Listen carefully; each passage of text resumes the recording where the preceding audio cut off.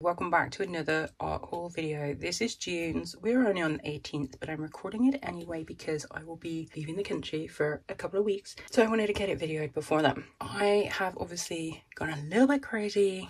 I know what's in these, you don't. Let's check it out. Okay, in the efforts of kind of clearing the space, let's work through the slightly more bigger items. So these I picked up from a company called Søstrene Grene. Um, they're a Danish company, I believe. And I thought when I'm painting, I have dirty water. My cat comes along and she's like, ooh, and I have to stop her from like trying to drink it, right? Because she drinks things in stupid places. So I thought with these little sugar bowls with the lids would be great because then if I don't want to like tidy before I go to bed, which sometimes you don't, then you can, you can see this one's already got some water in it. Then I can just pop the lid over and she can't get to them. So those were, I think they were only about four euros each. So really cheap. And at the same time, I got this pastry brush because um, obviously you get those catalyst brushes and they can be quite expensive. So I thought, oh, I saw this and I was like, oh, that would be good for like paint. This was like one euro and 98. Can you see that? And it's just from Søstrene Grene. I haven't tried it yet, but I thought that was genius. And then, again, in the interests of clearing space, this is something I picked up from Ikea. I needed to get some boxes for my um, sewing supplies, like my fabrics, to get them away from moths, basically. And I saw this for the kitchen, and I was like, that's kind of cool, because I can hook it on the bar, like a rail in my sewing room here, and I can just put tools in it that I don't need to hand. I, hang on, let's start with what I didn't get from Jackson's.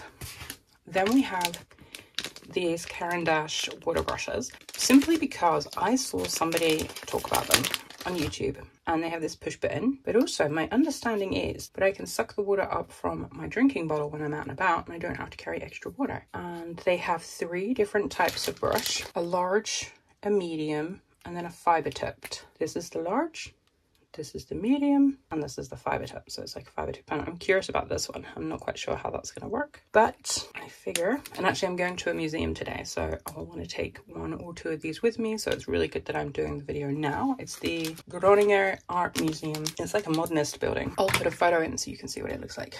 Then then next up, I ordered some books. Pattern source book to use as a source of inspiration. Look at that bird. I thought it'd be really cool just to kind of break me out of a rut. I really like these kind of like square shapes. Those are cool. And to use as like a source of inspiration. And then because I struggle with ideas, this came up on, these were from Amazon. Um, Amazon Dutch NL, NL.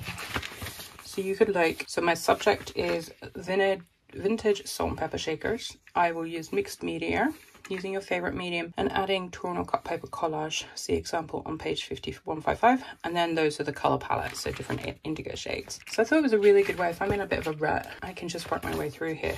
Because sometimes I just get stuck on a color palette. So I thought that was a really good idea. I'm not sure how much it was, maybe like 12 euros. And then this one I saw in another YouTube video, Shirley Trevena. I used to have the Taking Risks with Watercolor book. I think I lost it during a move because I haven't seen it for a couple of years. And I think, well, yeah, I just love the technique that she has. And so I was like, oh, I'm going to grab this one while I think about it. So I, my thing is I've been leaving it on the outside table in the um, our house. And then in the morning when I have a coffee, I work through a chapter. Uh, it's like my little treat. So those are the books that I got this month. Okay, now we're down to the actual supplies. This is a, another little genius idea that I saw on someone else's YouTube video from Jackson's. And it's for like, I believe like oil paints for putting like linseed oil and stuff in. But it can clip onto a board. And then you've got two little pots that you can put clean water, dirty water. So I think it's a little bit bulkier than I would like, but I thought that was kind of cool. Then clearly here I have two of the same thing.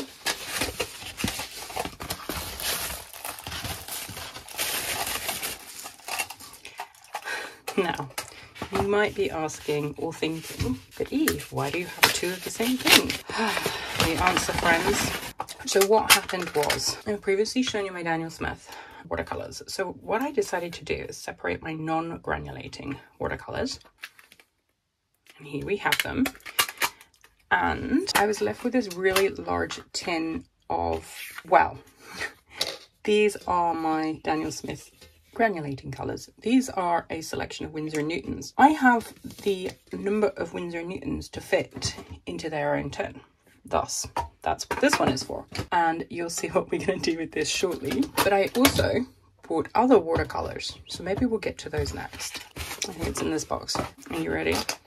Now, we can blame Jackson's for the sale, and we can blame Jewels of Chlorophyll for this purchase. Can you see those? How could you not see those? This is a quite a collection. I think I got 23 or 24, I'm not sure. Watercolors. Not all of them were available in half pans. So I got large pans. And yeah, and I just, I hope I haven't double purchased. That looks a lot like, oh no, it's different. That's Beretta. That's more like a magenta, isn't it? Queen Magenta? Queen Violet. So these are exciting. These I'm going to put into one of these I'm not going to do it now because that'll make it quite lengthy. And then, well, in order to use these in here, this is going to be my granulating pan of Daniel Smith's. So the Winsor Newtons are going to go in here. The Roman Szmals are going to go in here. Have the Daniel Smith non-granulating, and then this will be full of the Daniel Smith granulating. Now, because I didn't have enough uh, paints to fill it, and because Jackson's emailed out their sales email for Daniel Smith extra discounts, I obviously went ahead and treated myself to some Daniel Smiths. What do we have?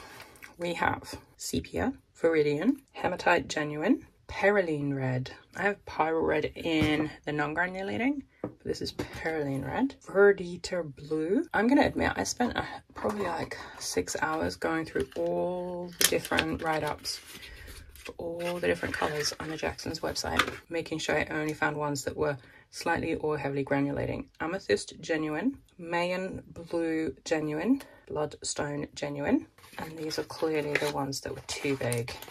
Chrome Titanate Yellow, Fired Gold Ochre, Mayan Red. So those are my Daniel Smiths. Obviously, there's going to be a couple of swatching videos because I've got my Roman Szmals and now my new Daniel Smiths. Oh, in order to be able to put those into the palette, pans, of course, and I'm trying to do that thing. Let me show this to you closer. You see, ugh, this is not a good idea. Here, I've only got a dab. I don't want to like fill the pan because that's the mistake I made with some of these when I first got my pans and my paints. I just want to put like a little bit in and so I have it all together, but then I'll sometimes work directly from the tube using like little bowls. That's my plan with ceramic dishes. And then finally, so that's all of Jackson's done. But I did take myself to the art shop the other day because I was feeling a bit down in the dumps. I got some granulation medium to use the acrylic inks. I thought it'd be fun. I saw a video a couple of weeks ago now where this was used to great effect and I thought that would be fun to try. And some Copic markers. Copic? No, Posca. I purposefully chose colourful ones. I have already a white and a black thick, like big chisely block one. And I just wanted some smaller ones. These are more expensive than I thought they would be actually. I think they were like five and a half euros each so it's quite a lot for marker pens but I have already tested them out as you can see and lovely colours. So I'm very excited about that. I got this one is the orange or bright yellow emerald green red wine and pink. Okay so I'm really excited about those. So there you have it. That's my art haul for June. I have no intentions of buying anything else at this point unless um, Jackson's send an email and they're like, ooh, look at this. You've always wanted this. Actually, there are a couple of things I want to get for lino cut printing. Um, I will be back in the UK for a bit and I have some lino stuff there, which I'm going to bring back. But if the, you know, if Jackson's happen to do a sale while I'm there. I might just order a few bits. But I'm going to have great fun playing with these. I'll swatch out the Roman Szmals and the granulating colours in a future videos, as well as the Poscas. I could show you the Poscas now, I think. This is the orange. This is the pink. This is the magenta. It looks like a scribble in black pen actually, but it's there. And then this is emerald. I hope you enjoyed that. Let me know if there's anything here you would like to see first in the next video. And thanks for watching and I'll see you in the next one. Take care. Bye.